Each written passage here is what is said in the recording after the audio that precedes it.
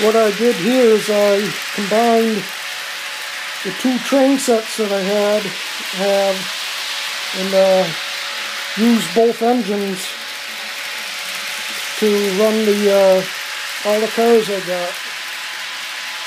As I said, it's still a work in progress, but uh, we're getting there slow but sure.